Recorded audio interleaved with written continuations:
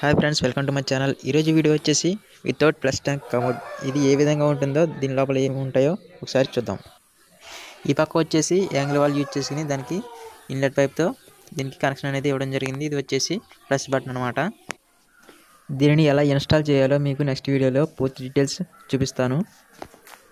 ఇది ఏ విధంగా వర్క్ అవుతుందంటే బ్యాటరీ ఇంకా మోటార్ సహాయంతో ప్లస్ అనేది జరుగుతుంది. ఒకసారి ఆ బ్యాటరీ చూద్దాం. దీని లోపల మనం చూసుకున్నట్లయితే లోపల ఈ విధంగా ఉంటుంది.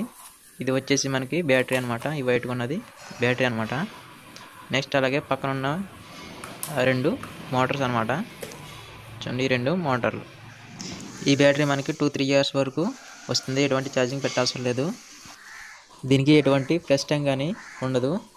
ఓన్లీ బ్యాటరీ ఇంకా రెండు మోడల్ సహాయంతో ప్లస్ అనేది జరుగుతుంది. ఇలాంటి మరెన్నో వీడియోస్ చూడాలనుకుంటే మా ఛానల్ సబ్స్క్రైబ్ చేసుకుంటే